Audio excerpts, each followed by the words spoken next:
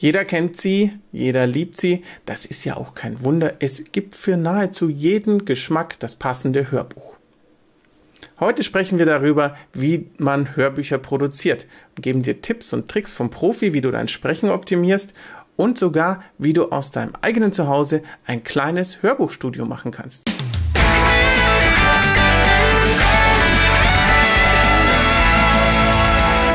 Bevor wir jetzt ins Hörbuchstudio schalten, habe ich noch zwei kleine Bitten an dich. Drück doch am besten gleich den Like-Button, wenn dir dieses Video hier gefällt und hinterlass bei uns ein Abo, dass du auch in Zukunft auf dem Laufenden bleibst und keine Sonntagsinspiration mehr verpasst. So, das war's. Jetzt aber auf ins Hörbuchstudio. Da bin ich also in den Sound Neverest Studios und bei mir sitzt Tille. Grüß dich. Hallo, grüß dich. Du, schön, dass ich hier sein darf. Ja, immer gerne, das, immer gerne. Das ist, ich finde das total aufregend. Es ist ein richtiges professionelles Studio äh, mit überall Mikrofone und Schallkabine, Abhöre. Ähm, was produzierst du denn hier alles? Wir produzieren hier hauptsächlich Hörbücher. Also Sound Neverest ist ein Hörbuchverlag. Und äh, wir haben uns da spezialisiert auf Fantasy, Romance, ein bisschen Dystopie zwischendrin und ab und zu nehmen wir auch das ein oder andere Sachbuch mit ins Programm. Wie macht man Hörbücher? Wie macht man das? Hörbücher im Prinzip ist es eigentlich ganz einfach. Man braucht ein Buch und eine Stimme. Buch, Buch, Stimme, Stimme. und eine Möglichkeit zum Aufnehmen. Das sind die drei Geschichten, die man Grund, also jetzt mal ums ganz vereinfacht darzustellen, äh, braucht. Und es kommt darauf an, braucht man eine Lizenz für das Buch. Man darf nicht einfach ein, ein Buch einsprechen, weil die Nutzungsrechte bzw. die Hörbuchrechte meistens beim Autor oder beim Verlag äh, liegen. Da muss man dann anfragen. Und äh, wenn man da die Rechte bekommt, bei gemeinfreien Titeln, die halt also schon älter sind, ist es was anderes. Die kann man ohne Probleme selber einsprechen. Ich finde ich find ja total spannend, ich stelle mir das halt auch so einfach vor. Ich setze mich vor ein Mikrofon und laber einfach drauf los und fertig ist mein Hörbuch. Ganz so einfach ist es nicht. Die Aussprache ist wirklich ganz wichtig, dass man eine deutliche Aussprache hat. Ähm, ich habe ein Problem, bei mir schmatzt es immer ganz gerne, das liegt halt an der Speichelproduktion. Ist so. Dann, äh, man muss sich selber sehr genau zuhören können. Äh, die, beim Text, es rutscht immer mal irgendwo wieder ein Wort rein, was gar nicht im Buch steht oder äh, deswegen mache ich meinen Job hier draußen und buche einen, einen, professionellen Sprecher, der das gelernt hat, der da ein langes Training äh, auch gemacht hat und korrigiere ihn. Also ich bin hier draußen quasi für als Korrektiv äh, zuständig und für die Aufnahme, dass die Aufnahme sauber ist. Also wenn du produzierst, sitzt du quasi außerhalb der Sprecherkabine. Genau. Ähm, und, und überwachst das Einlesen. Mhm. Sagt man da Einlesen, Vorlesen? Die Aufnahme. Überwachst die Aufnahme. Ich überwache die Aufnahme genau, ob es äh, richtig betont ist, ob Schmatzer drin sind, ob äh, man sich verlesen hat. Es kommt auch teilweise vor, dass der Sprecher nach zwei Stunden mal in der Zeile verrutscht und dann fehlt halt was. Und äh, die, die verrutschen einfach, merken die das merken nicht? Merken das nicht, nein. Da ist man dann so in diesem Leseflow drin oder es ist, poppt irgendwo unterhalb schon so ein Wort auf und das wird dann irgendwo anders reingebaut oder man wandelt ein Wort um. Und es gibt ganz lustige Blooper, ich nehme die dann meistens auch raus, wenn sie lustig sind. Oder man hat schwierige äh, Aussprachen wie Inverted Totalitarianism. Inverted Totalitarianism? ja, das war mal so eine Stolperschwelle.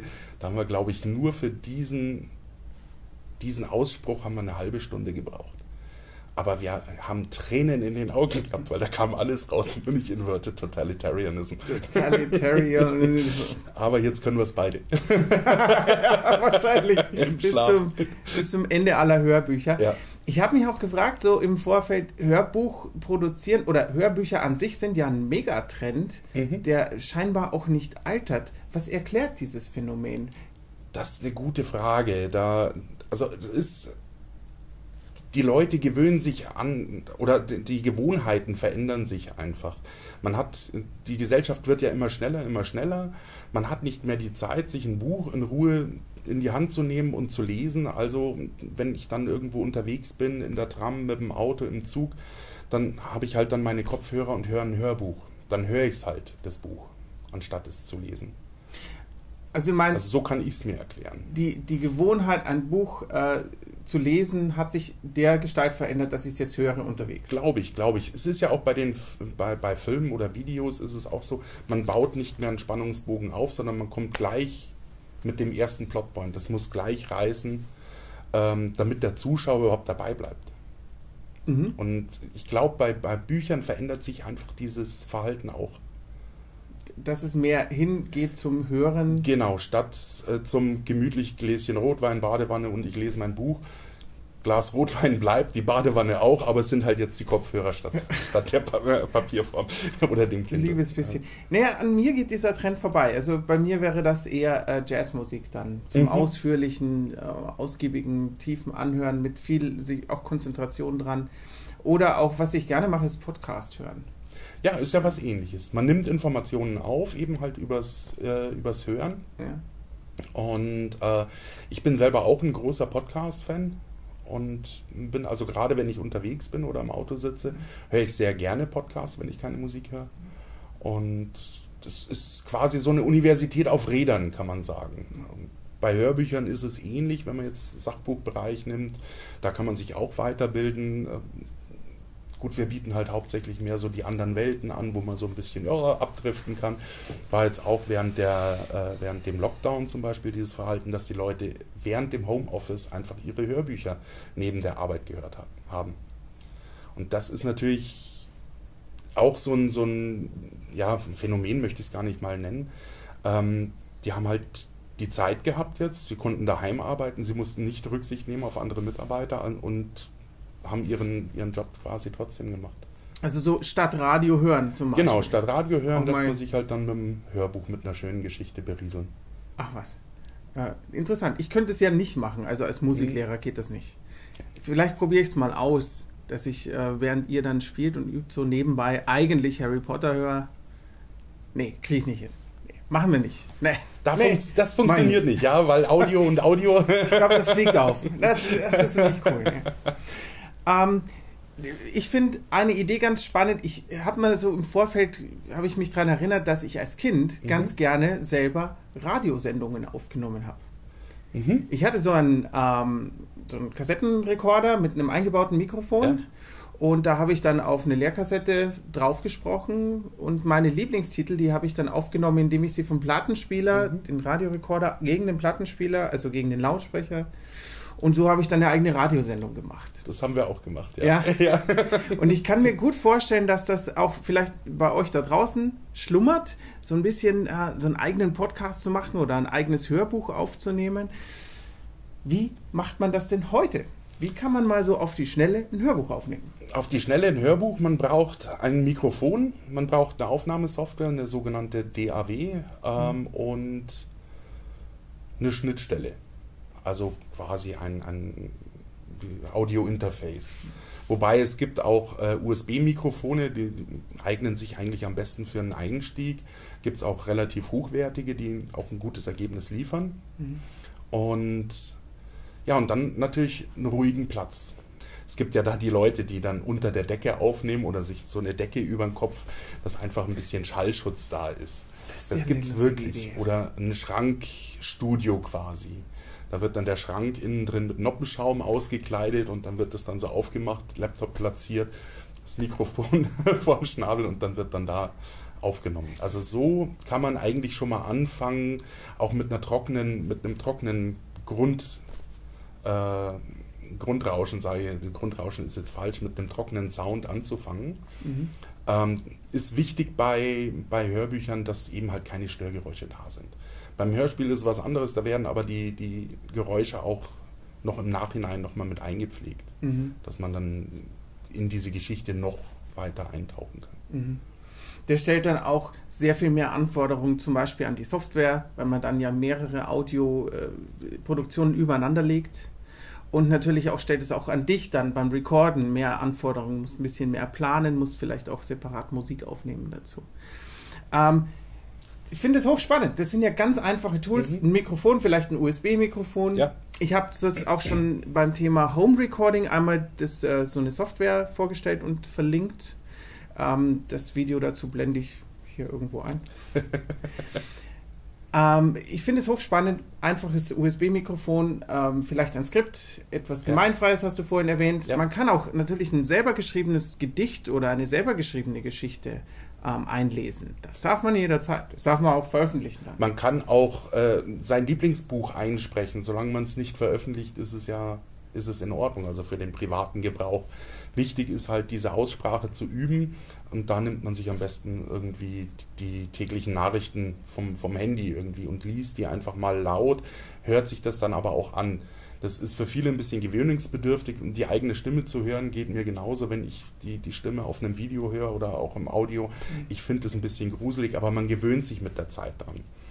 Ähm, da eben halt dann auch genau drauf hinhören, habe ich so ein, so ein Schmatzen mit drin.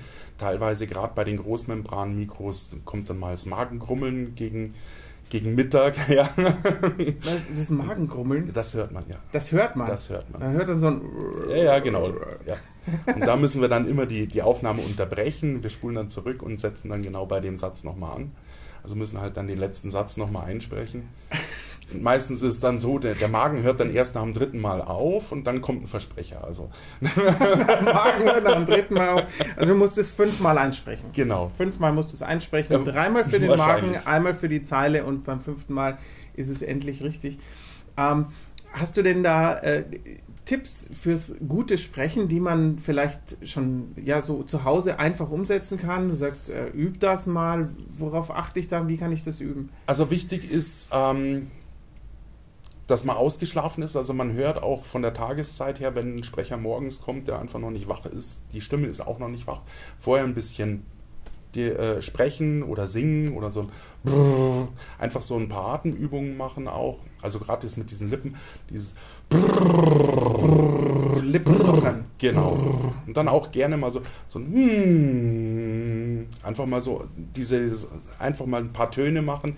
Die Stimme findet dann ihren, ihre Tonlage. Damit kann man dann die Stimmbänder wach machen quasi. Aha.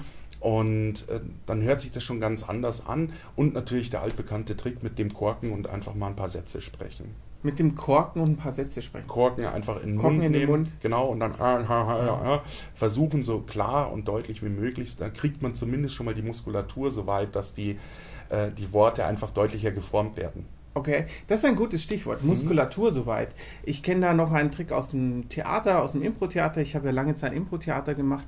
Und die Schauspieler, die massieren sich ganz gerne hier so die Muskulatur hier im Gesicht. Das sieht ganz ulkig aus und sorgt aber dafür, dass generell hier einfach mehr Wahrnehmung im, im Gesicht ist. Und diesen, diesen Bereich brauchen wir ja zum Sprechen.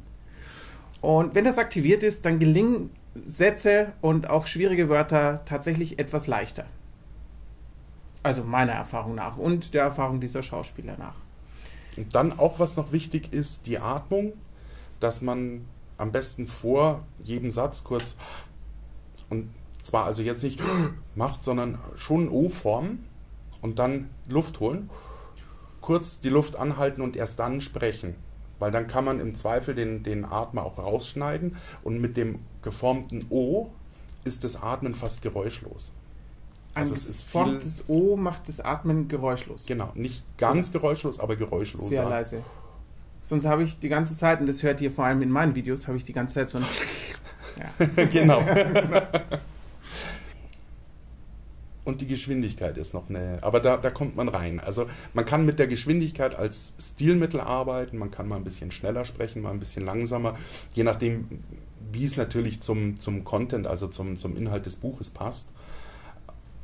Und die Betonung ist halt wichtig. Also man muss schon, wir versuchen quasi den Text, dem Text eine Stimme zu geben und da Leben einzuhauchen. Und das, das ist, glaube ich, das ist die größte Herausforderung, dass man ähm, einer Geschichte wirklich Leben einhaucht, nur mittels der Stimme. Was auch ein ganz guter Trick ist, man stellt sich vor, man hat eine Kindergartenklasse vor sich. Einfach 20 junge Kinder und denen erzählt man diese Geschichte. Dann wird es automatisch schon ein bisschen betonter und schöner und da kriegt man dann schon mal Leben, Leben rein in den Text. Das ist eine tolle Sache. Stellen sich das deine Sprecher wirklich vor? Wenn mir der Text zu monoton wird, dann sage ich ihnen Kindergarten. Kindergarten, da wissen die schon, ah genau, ah ja, hier, genau. ich, ich, muss jetzt so meinen Vorlese-Epos Genau, genau. Das ist tatsächlich etwas, äh, was ich auch empfehle, mhm. wenn man ein Gitarrenstück zum Beispiel schon so einigermaßen auf Vortragsreife mhm. hat. Dann kommt, das kennt ihr vielleicht von mir, dann kommt schon ganz gerne der Spruch, ja, es klingt jetzt richtig, aber es ist noch nicht Musik. Und damit meine ich nicht selten, dass man eine gewisse Vortragsausstrahlung auch in das Stück reinbringt. Und der eine oder andere von euch hat es auch schon mal erlebt, dass ich dann auch wirklich versuche, so eine Art Publikumsimagination zu erstellen. Stellt euch vor, ihr seid vor Publikum oder stellt euch ein anderes Szenario vor, in dem ihr gerade Gitarre spielt oder euer Instrument vortragt, um auf diese Weise das musikalische ähm, äh, Konstrukt, die Musik ein bisschen mehr zum Leben zu erwecken. Genau. So, jetzt habe ich die Aufnahme im Kasten. Was mache ich damit? Ja, dann kommt der große Part, den überlasse ich auch quasi meinem Profi. Dann kommt das Mastering oben drauf. Also das heißt, ich habe jetzt mein, mein fertiges Stück, Hörbuch, habe da quasi schon mal grob geschnitten, die Verhaspler rausgeschnitten, habe ein paar Schmatzer rausgemacht und so, dass es einfach mal schon mal so von der Länge her passt und einigermaßen sauber ist. Und jetzt muss man ein bisschen basteln. Das heißt, ich spiele dann ein bisschen mit dem EQ, nehme Filter vielleicht noch, äh, um, um ein bisschen knistern oder so leichte Spitzen zu entfernen. Spitzen ist, wenn es dann so mal irgendwo schnalzt oder so. Die kann man teilweise noch rausfiltern. Und dann äh, schaue ich, dass ich mit dem Equalizer die Stimme da wirklich das Beste raushole. Und mache dann auch vielleicht auch die Pausen äh, noch sauber, dass da auch kein, überhaupt kein Rauschen mehr drauf ist. Man muss auch schauen, dass das Grundrauschen, jedes Mikro hat ein gewisses Grundrauschen. Das kann man auch rausfiltern mit einem Rauschfilter. Mhm. Und dann wird es relativ clean dann am, am Ende mit einer schönen hochgepimpten Stimme. Und Eine das ist dann hochgepimpte hochgepimpt, ich nenne es halt jetzt mal hochgepimpt, also mit einer schönen äh, auf Hochglanz polierten Stimme. Ähm, es gibt Sprecher, da muss man einfach die, die Tiefen rausnehmen. Wir haben einen Sprecher zum Beispiel, der ist wahnsinnig basslastig. Mhm. Bei dem funktioniert lustigerweise eins von den günstigsten Mikrofonen. Das ist das Beste für seine Stimme, weil es die Bässe nicht so nimmt. Es konzentriert sich mehr auf die Mitten. Mhm. Und äh, andere, die haben so eine, so eine dünne Stimme, da muss man einfach, da muss man nochmal hochziehen mit dem Equalizer, die brauchen ein bisschen mehr Bass, da muss ein bisschen mehr in die, in die Mitten rein äh, oder was rausgeholt werden. Und dass das eben halt dann wirklich nach einer Stimme klingt, wie als wenn sie im Raum wäre. Also wenn wir jetzt so nebeneinander sitzen, klingt das anders als die Aufnahme jetzt auf dem Video. Ja? Mhm. Das muss man dann quasi erst hinbringen, dass das dann. Das ist sehr spannend. Ich finde es sehr, sehr spannend, weil ich hätte ehrlich nicht vermutet, dass da so viel individuelles Know-how reinkommt. Mhm. Ich habe mir gedacht, naja, also ähm, lesen, und Mikrofon, fertig ist die Laube. Ja, vielleicht noch ein bisschen hier lauter machen. Lauter. Aber äh, gerade dieser Aspekt, dünne Stimme dicker machen oder eine, eine, sonore Stimme, eine brummige Stimme vielleicht etwas angleichen, dass sie sich besser ins Gehör an, an, anschmiegt und vielleicht auch besser zur Geschichte passt, das sind ja äh, enorm viele individuelle Faktoren. Ja, ja, ja, ja, absolut.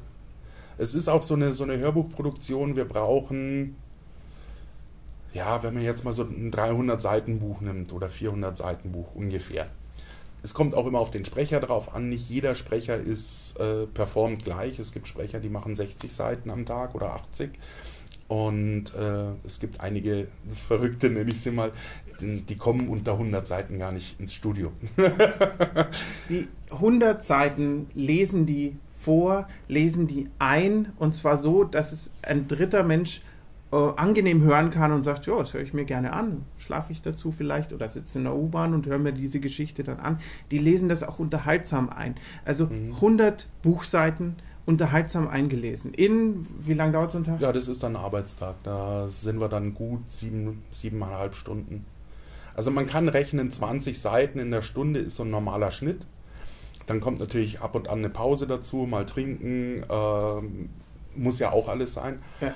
Ähm, da ist man bei 100 Seiten sechs, sieben Stunden, ja. Das ist eine Menge. Rekord, eine Menge. Rekord war einmal einer, der hat 190 an einem Tag gemacht. Ah, hat aber auch schnell gelesen, ne? Nee, es ging, gesprochen. aber wir haben ähm, morgens um 8 haben wir angefangen und waren abends um 9 fertig. Also. Aber er war auch fertig. Ja. Der, das war ein ganzes Röhrchen Gelo Revoice. okay, das ist, äh, das ist ein, ein um, Das ist was für die, für so die Stimmbänder. Ja, so eine Lutschpastille, genau. Mhm. Also wenn die, wenn die Stimmbänder dann langsam nachlassen und man, man hört dann schon so, die Stimme wird langsam krächzig, ja. äh, dann so eine Gelo Revoice, aber eigentlich sollte man dann so langsam den Tag ausklingen lassen er war nur nicht aus München, der wollte dann einfach wieder nach Hause fahren. Das äh, war der Autor selber. Ja, ja. Die Autoren haben eh einen anderen Fokus. Also man merkt, ob es eine Autorenlesung ist oder eine Sprecherlesung. Okay. Äh, eine Autorenlesung ist meistens, der kennt ja den Text, der weiß, wie er es betonen muss.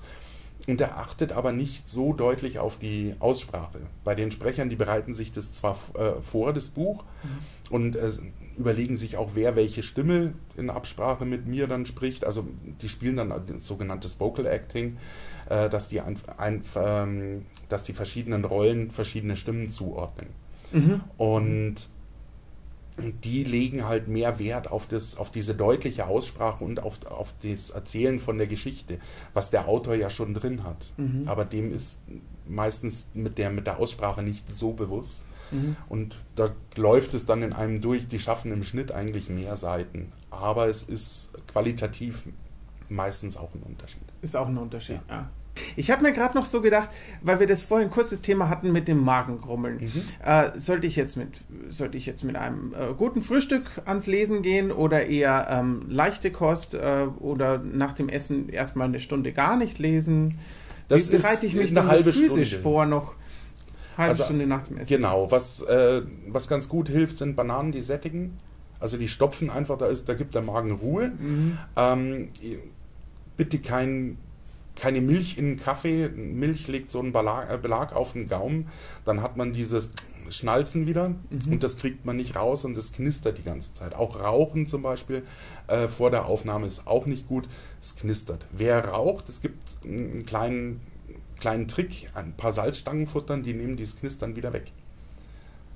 Das hilft hoffentlich Salzstangen auch bei anderen äh, Situationen. Ja, also wenn, wenn so ein Knistern oder ein Schmatzen, ich wäre zum Beispiel so ein Salzstangenkandidat, Aha. wenn ich sprechen müsste, okay. dann würde ich wahrscheinlich nur noch, mich nur noch von Salzstangen ernähren. Einfach um dieses äh, ja, Meeresrauschen wegzubekommen. ja, das ist doch schon mal eine ganze Menge. Das finde ich auch wirklich gut. Wir können uns ein kleines Home-Studio basteln äh, mit dem Kleiderschrank oder mit äh, der Bettdecke. Kleiderschrank, Bettdecke, das kann schon mal so eine kleine Home-Studio-Kulisse werden. Ein einfaches USB-Mikro oder eine ähnliche Mikrofonaufnahmelösung kann uns helfen, ähm, an dieses äh, Audiosignal an den Computer zu bringen. Und dort brauchen wir eine Software, da habe ich ja schon mal ein Video zu gemacht. Gibt es auch Freeware, mit der man einfach mal eine Spur aufnehmen kann. So, und wenn es dann ans Sprechen geht, ein bisschen Gymnastik, ein bisschen Aufwärmübung für die Sprechmuskulatur und der leckerste Tipp von allen, ein paar Salzstangen zur Hand. Ja, vielen Dank, Tille, dass du uns ein paar Tipps äh, äh, gegeben hast, ein bisschen Gerne. Einblick gegeben hast, wie man ein Hörbuch produziert. Dankeschön, ja, dass du dir die Zeit genommen hast. Danke fürs Zuschauen.